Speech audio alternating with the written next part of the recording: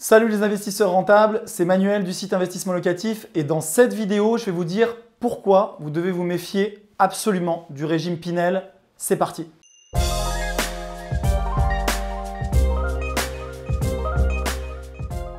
Salut à tous, c'est Manuel du site Investissement Locatif. Je suis très heureux de vous retrouver dans cette nouvelle vidéo où je vais vous dire quels sont les points négatifs et les points positifs du régime Pinel et pourquoi vous devez euh, impérativement vous méfier quand on vous propose ce genre de produit.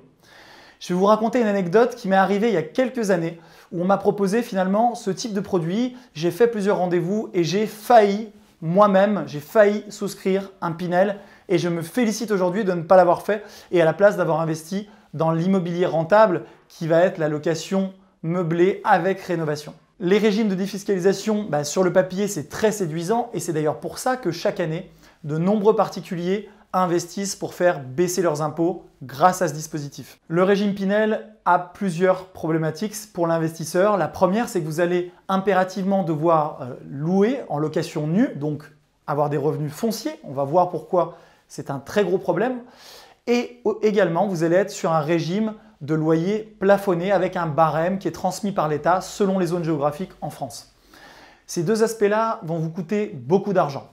Pourquoi? Tout simplement parce que les revenus fonciers sont soumis à une fiscalité très forte, à l'opposé de la location meublée, donc du régime de location LMNP, dont je parle dans d'autres vidéos. Je vous invite à regarder les autres vidéos qui vont vous permettre, grâce au régime LMNP réel notamment, de ne pas payer d'impôts sur vos revenus locatifs pendant des années.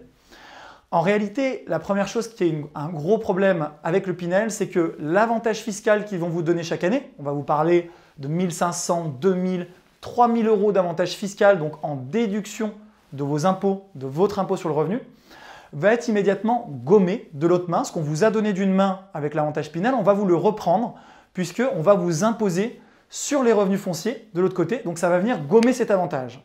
Et vous allez finalement vous retrouver uniquement avec les problématiques liées à ce type de projet. En 1, souvent, l'emplacement ne va pas être idéal. Quand on investit en Pinel, on investit dans des logements neufs qui sont souvent dans des zones peu attractives, peu intéressantes et éventuellement, comme on l'a vu dans de nombreux scandales, mal desservis par les transports, ce qui peut entraîner des conséquences très lourdes qu'on va voir juste après dans la vidéo. Donc en 1, on a un emplacement qui n'est pas idéal. A l'inverse, si vous achetez dans l'ancien, vous pouvez choisir un centre-ville, une zone très demandée, une zone où euh, il n'y a pas forcément de terrain disponible qui permettrait à des promoteurs de construire. Donc en 1, le problème avec le Pinel, c'est l'emplacement. En deux, le problème, ça va être le prix d'achat. Si vous regardez sur Internet, vous allez constater très facilement que souvent, les programmes proposés en Pinel euh, sont 20% au-dessus du marché. Et pourquoi? Pour une raison très simple, parce que les promoteurs se permettent de vendre plus cher, parce qu'ils savent que les investisseurs sont aveuglés par l'avantage fiscal. Et c'est d'ailleurs le premier problème, c'est que en Pinel, souvent les investisseurs ne regardent pas réellement le produit. Est-ce qu'il va se louer au bon prix? Est-ce qu'il est au bon prix à l'achat? Est-ce qu'il est bien placé? Ils sont aveuglés, ils se concentrent uniquement sur le chiffon rouge que le vendeur de Pinel va leur, agiter sous le nez. Et ce chiffon rouge, c'est la carotte fiscale. Alors je sais qu'on est en France, on a tous envie de, baisser euh, le montant de nos impôts. C'est aussi mon cas à titre personnel, je paye énormément d'impôts. Et si je pouvais trouver des solutions concrètes avec l'investissement immobilier pour réduire mes impôts, je serais le premier à souscrire. Je vais vous raconter une anecdote qui m'est arrivée il y a quelques années puisque bah, j'avais moi-même téléchargé un guide de Pinel suite à une pub et je me suis retrouvé démarché par des commerciaux et je me suis retrouvé en rendez-vous place de la Madeleine dans des locaux magnifiques avec des vendeurs de Pinel. Et donc j'arrive à ce rendez-vous et je leur dis bah écoutez moi je suis intéressé pour baisser mes impôts comme je pense tous les Français qui en payent beaucoup qu'est-ce que vous avez à me proposer comme programme immobilier? Et donc je dis à, cette personne qui me reçoit, qui avait un sourire bright, qui avait les cheveux gominés en arrière, qui avait un magnifique costume, qui me recevait dans des bureaux somptueux et qui était surtout un excellent commercial, je lui dis mais qu'est-ce que vous avez comme programme immobilier à me proposer? Et il m'a dit Monsieur Ravier, pour le moment, je ne vous parlerai d'aucun programme immobilier, je vais revenir vers vous sur l'avantage fiscal. L'avantage fiscal dont vous allez bénéficier. Et donc pendant une heure et demie, il a déroulé, à coup de schéma, il a déroulé l'avantage fiscal et comment j'allais bénéficier d'un placement hyper intéressant en baissant mes impôts et en ne rajoutant que 300 euros par mois pour un investissement à environ 200 000 euros. À la fin de ce rendez-vous, je dis bah écoutez, ça m'a l'air super intéressant. La personne était un commercial en or, hein. un petit peu embobiné et je lui ai dit mais c'est génial, montrez-moi un projet. Et vous pourrez faire le test et vous vous reconnaîtrez si vous avez déjà investi en Pinel. Et le conseiller m'a dit une phrase incroyable qui m'a beaucoup interpellé. Il m'a dit Monsieur Ravier, je ne vous montrerai aucun programme aujourd'hui. Aujourd'hui, je voulais vous montrer l'avantage fiscal et la semaine prochaine, on se revoit dans 7 jours et à ce moment-là seulement, je vous montrerai un programme.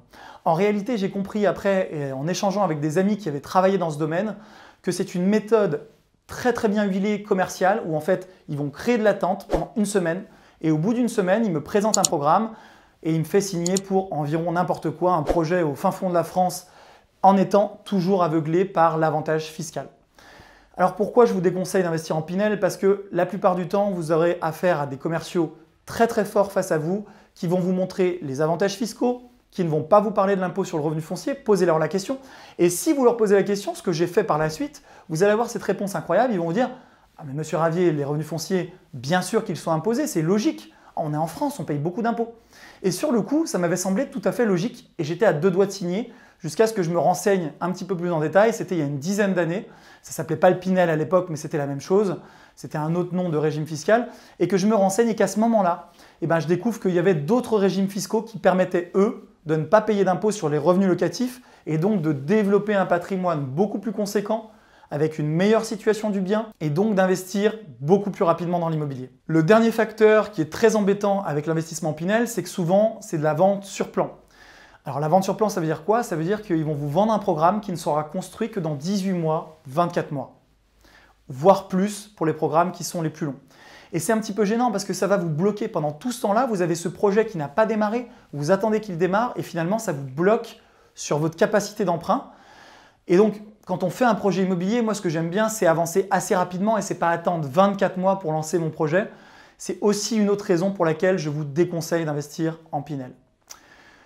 Voilà, j'espère que cette vidéo vous aura plu. Vous pourrez sur la chaîne retrouver d'autres vidéos sur le régime que je recommande fortement de la location meublée, qui va être soit l'investissement à travers des sociétés, SARL, SASU, SCILIS, ou l'investissement en propre, en indivision ou en pleine propriété à travers le régime du LMNP au réel. Vous retrouverez juste au-dessus une vidéo sur le sujet que j'ai faite. Je vous dis à très bientôt pour plus de conseils. Si cette vidéo vous a plu, vous pouvez vous abonner à la chaîne, mettre un like, mettre un commentaire me dire si vous aussi vous avez déjà fait un investissement Pinel et si vous en êtes satisfait ou si vous le regrettez. Et je vous dis à très bientôt pour d'autres vidéos sur l'investissement immobilier rentable. Ciao